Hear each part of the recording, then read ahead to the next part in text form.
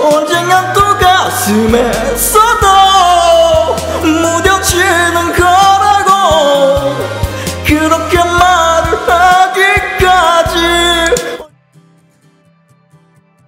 오늘 밤에